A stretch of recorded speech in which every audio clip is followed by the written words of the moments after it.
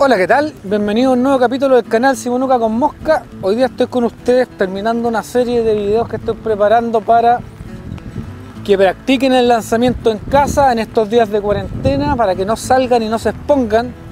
Yo sé que es un poco difícil para algunas personas contar con un patio tan grande, necesitan un patio de alrededor de 20-30 metros yo este me lo conseguí porque donde, donde vivo no tengo patio, así que quiero agradecer a Carlos Astudillo y a mi polola por hacer este posible. Si no han visto los otros videos anteriores, voy a dejar acá un link en la descripción del video. La imagen no es tan buena, está lloviendo, pero quise hacer el video igual. La vez anterior, el primero fue practicar precisión y básicamente lo que tienen que hacer es en la punta de su líder colocan una lana o algo, preferiblemente una lana, no una mosca. Si van a colocar una mosca, le cortan el. con un alicate en la punta del anzuelo, la cortan. En la punta de su tippet colocan una lana. Bueno, yo en este momento no tengo, se me olvidó traer. Colocan una lana y así practican su lanzamiento. Partimos con precisión, ponen cualquier cosa en el suelo y tratan de darle a lo que le coloquen en distintas posiciones, independiente de cómo sea el viento. Recuerden que en un río el viento les puede estar pegando en cualquier lado.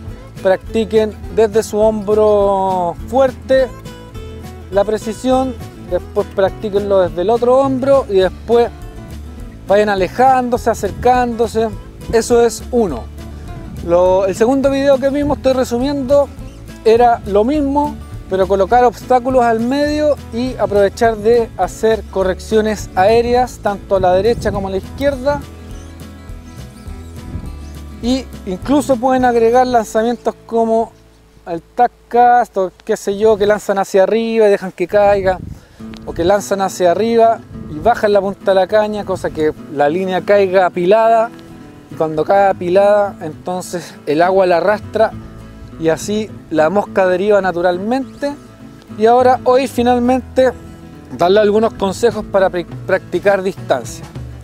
Lo primero es lanzar hacia atrás y hacia adelante sin mover su mano que no ocupa la línea, sino que muevan solamente la mano de la caña y empiecen a hacer ese movimiento hasta que más o menos se sientan cómodos. Yo aquí en este momento estoy más o menos 7 metros desde aquí a la cámara que tengo allá. No sé si se me va a ver la, otra cámara, me voy a correr.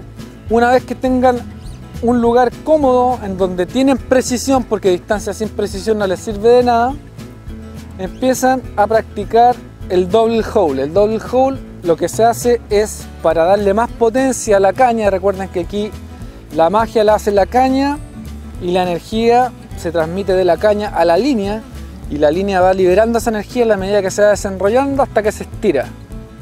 Cuando se termina de estirar, toda la energía se pierde y es donde dejo caer mi caña, mi mosca al agua. Si no la quiero dejar caer al agua, sigo administrando energía. Y una manera de aumentar esa energía para obtener mayor distancia es hacer lo que se llama el double hole, que se hace, me voy a acercar, con la mano contraria que firma la caña. Y lo que yo hago es tirar cuando voy hacia atrás y me junto con la mano cuando estoy atrás. Voy hacia adelante, lo mismo. Y cuando voy hacia adelante vuelvo a tirar con mi caña, mi mano, perdón. Y al final cuando detengo la caña se vuelven a juntar las manos. Y si quiero ir dando distancia, suelto un poco de línea de acá de esta mano, voy soltando un poco para que la línea vaya tomando distancia y así vaya logrando mayor distancia. Errores típicos, que cuando lo hacen hacia atrás lo hacen bien, pero después esta mano no vuelve. Entonces, el movimiento cuando van hacia adelante lo hacen bien porque se juntan, pero he visto que los que cuando se van hacia atrás se quedan ahí nomás. Y eso es un error, tienen que volver hasta la mano. Y eso lo pueden practicar y eso genera, mientras más lo practiquen, más memoria muscular queda y se acostumbran a hacerlo. Entonces, yo voy a estar acá en el aire con poca línea mostrándoles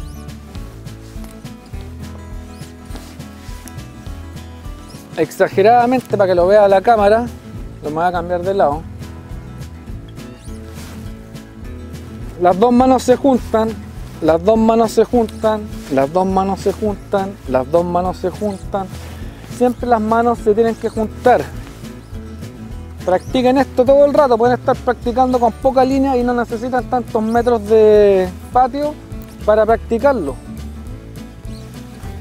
Se juntan adelante, se juntan atrás, se juntan adelante, se juntan atrás y se juntan al momento que se detiene la caña. Eso les va a dar energía extra para presentar o expandir o proyectar la línea más lejos.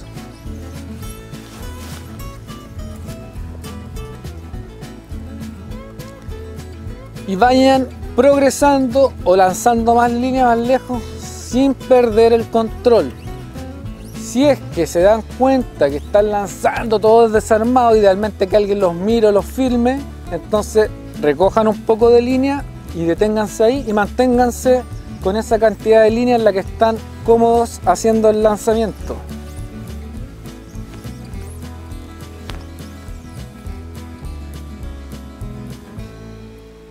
De lo contrario, van a empezar a tener malas prácticas o malos hábitos que van a evitar que en algún momento que necesitan hacer un lanzamiento lejano lo van a arruinar. Y el secreto mejor guardado para llegar con la caña donde están las truchas es usar las piernas. Si en casa practicaron, se dieron cuenta que con 10, 15 metros se manejan bien, que es más o menos la distancia que estoy con la cámara, y tienen una oportunidad de pesca más lejos que eso, agarren sus patitas y se acercan al lugar. Con calma, con cuidado, con silencio, con sigilo, y de ahí lanzan y pueden llegar. Voy a tratar de pegarle a la cámara al lugar que quieren lanzar cómodamente. Más de eso para mí yo no me quiero quebrar con distancias ni nada. Esa es mi distancia de lejos cómoda. Puede que a algunos les parezca que no está lejos, todavía tengo mucha línea en el carrete, pero el que lance lejos o lance cerca no me hace ser un mejor pescador o un peor pescador. Me hace ser una persona que lanza más lejos o más cerca, nada más. La pesca no está en el lanzamiento, pero sí esta serie de videos quise hacerlas porque es importante lanzar bien. Muchas veces he dicho que es recomendable antes de comprarse una caña nueva tomar clases de lanzamiento con alguien que realmente sepa. Idealmente con algún instructor certificado, pero no se dejen engañar, hay personas que pueden enseñarles bien sin ser certificados. La ventaja de la gente que se certifica con la FFA es que esa certificación garantiza que esa persona explica lo suficientemente bien la materia para que una persona que no sabe lanzar bien aprenda a lanzar.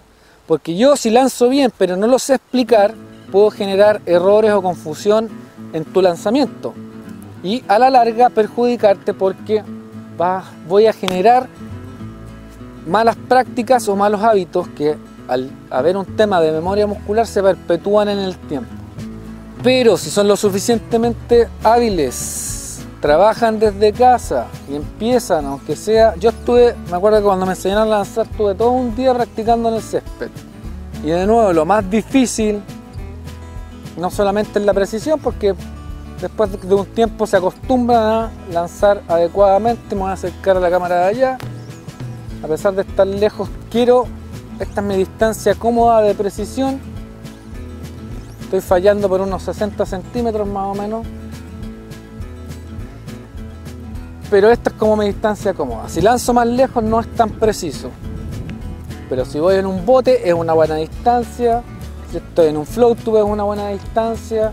Y si estoy en un río es una buena distancia porque si es que es más lejos camino un poco. Uso las piernas.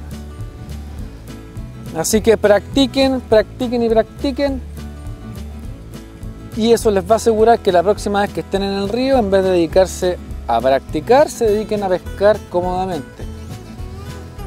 A lo mejor no les ha pasado, pero les voy a contar, cuando, mientras más salen a pescar, están en situaciones que de repente están pescando para allá y ven una trucha saltar ahí.